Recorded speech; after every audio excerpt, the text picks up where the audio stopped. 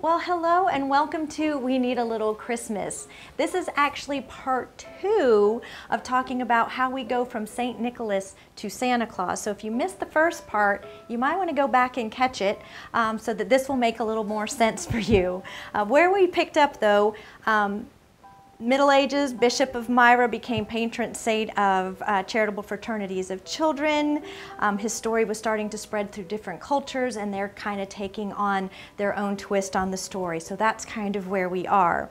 So in 8th century France, a group of nuns decided to honor St. Nicholas by baking little cakes on the eve of the saint feast day and leave them at homes of good children. So this custom spread and it became known that um, St. Nicholas would deliver goods and little cakes and leave them in your shoes if you were good. And then later he would add, this is awful, switches to intimidate the bad children, reminding them to be good. So that started happening in France. And by 800 AD, he was officially proclaimed a saint by Eastern Catholic Church. Well, as the story of St. Nicholas traveled, his name would sometimes reflect the language of the host country. When the customs of the saint filtered into Germany, some in the south might call him St. Nicholas, while others in the north called him Christmas Man.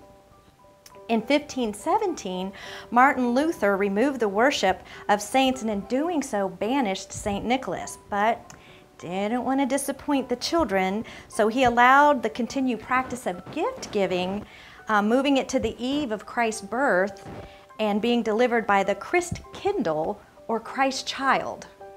Now you see how some of these names are starting to be reflected in what we know? Um, English reformers, not wanting to disappoint the children either, found Saint, a Saint Nick look-alike in Father Christmas. In a bit of confusion, small children began referring to Father Christmas as Christ Kringle, or Kindle, sorry, Christkindl. So major day of celebration and gift giving becomes strongly established as December 24th. From Germany, the story of St. Nicholas was carried into Holland. In Holland, it was St. Nicholas himself who gave the gifts, mainly because Dutch sailors knew Nicholas as their protector and continued their adoration and traditions and refused to give him up. when they sailed for the New World, they took St. Nicholas with them, and he was called Sinterklaas. And they, center, they settled in New Amsterdam, which would eventually become New York. Uh, for a while, he remained exclusively, though, in the Dutch culture. British uh, eventually took control of New Amsterdam and renamed it New York.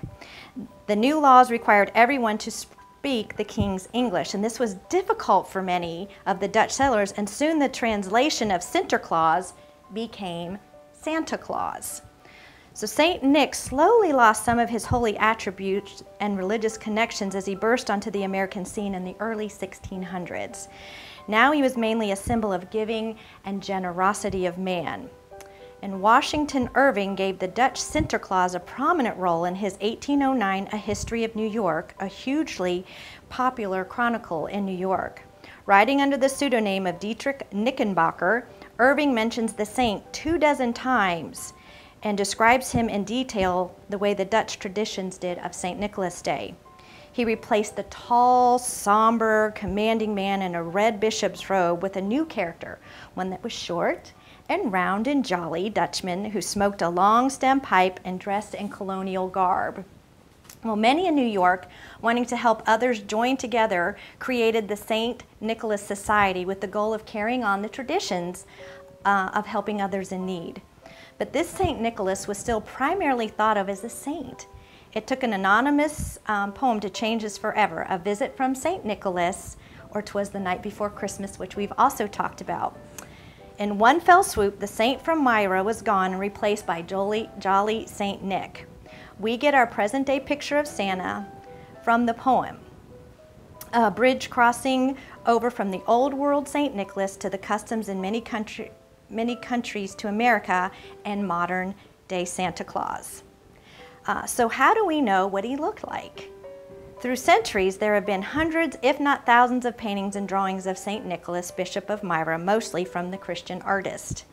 As the stories and legends of him evolved, so did his image. I showed you last time what he looked like. His image became more jovial and spirited, still showing the trappings of a bishop, but adding a little smile and an armful or bagful of gifts. Until 1862, most of the illustrations were single paintings or drawing, but Thomas Nast, head editorial cartoonist for Harper's Weekly, would show America and the rest of the world what Santa Claus really looked like. In December of 1862, as the story is told, President Lincoln personally requested a special edition of Harper's Weekly that would be dedicated to the soldiers of the Union Army. The cover of the paper, illustrated by Nast, and I have a copy here I will show you, featured an assembly of Union soldiers receiving gifts and packages from a rotund and bearded gentleman wearing a suit of animal fur and standing atop a sleigh drawn by eight reindeer and a sign overhead that says, Welcome Santa Claus.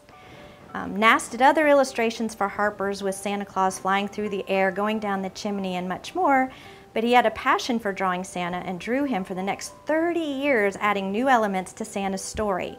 For instance, a telescope which he could look in on boys and girls to see the good and bad, a big book of good and bad children's names, and taking a Christmas wish over the telephone. And his illustrations were seen all over the world and helped solidify the image of the gift giver. So Santa Claus is born, son of St. Nicholas. In the Middle Ages, he had a bishop's hat and a staff and evoked a powerful sense of mystery and protection. By middle of the 19th century, his hat has become floppy. He loses the staff, maybe has a candy cane. Not as powerful, perhaps, but just as popular. And other artists began to draw and produce images for greeting cards and books and advertisements as well. And according to Macy's, in 1861, R.H. Macy put an ad in a New York paper stating that Santa Claus shopped at Macy's. And he promptly put a Santa on display in the store windows. And as we know, many stores followed suit with that. In December of 1890, James Edgar dressed up as Santa Claus to entertain the children of shoppers in his Massachusetts store, becoming the first department store Santa. His appearance as Santa and meeting with the children was a huge success, and it wasn't long until other stores quickly followed uh, with a live Santa to meet and talk with the children. But not to be outdone, he opened Santa Land in his Boston store with the sole purpose of talking with the children. Well, Macy's followed that, and Santa Land is still around today and is visited by hundreds of thousands of children each year. But it wasn't until 1930 that Santa Claus himself went through one final and memorable facelift. Frederick Mizen was an illustrator who was hired by Coca-Cola to create an ad featuring Santa. The following year, they wanted to expand the campaign and they hired Haddon Sundblom to draw a series of new ads showing Santa. Well, his Santa was a full-sized adult who was rotund and jolly, a combination of grandpa meets superhero. And, you know, you've probably seen them on the Coke bottles everywhere um, at Christmas time. The ads ran from 1931 to 1964 and have done more to shape the image of Santa as we know him today. The red suit, trimmed with the white fur, the leather um, gloves and boots and belt images can change all the time. Even uh, last year, or 2018, a new image popped up in Christmas Chronicles with Kurt Russell. Check out this Santa. He's not rotund. He's got leather jacket, brown fur, more salt and pepper hair, trimmed down physique. He talks about doing Pilates, I think. So he continues to go through changes even today. But the one thing that is constant is that Santa at the heart of it is a Christian man. He does what he does because God gave us the greatest gift in his son. He understands that he has been blessed so that he can bless others. That's a good thing for us to remember as we go out and we become Santa to the world around us. Thank you for joining me, and Merry Christmas to you today and every day.